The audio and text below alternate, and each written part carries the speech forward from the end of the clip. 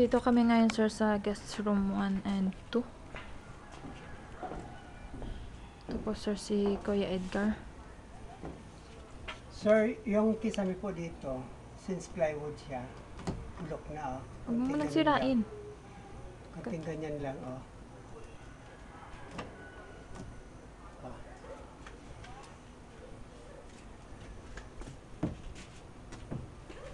Malambot na yan. Ito ba siya?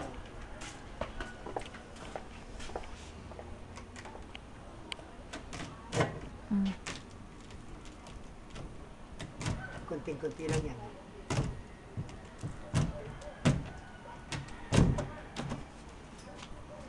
Meron din yan dito. Kuntis-kuntis na lang. Nagkalat ka pa eh.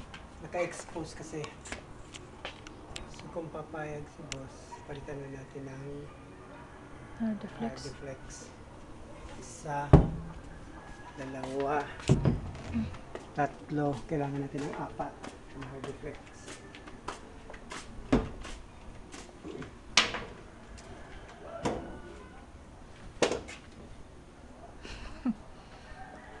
Itong ano, Um, sabay. si, pipinturahan din ninyo. Pipinturahan na lang to.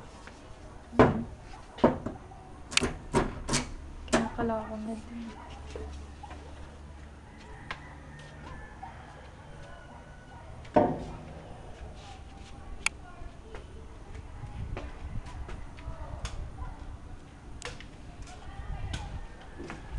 Yun lang ba, kuya?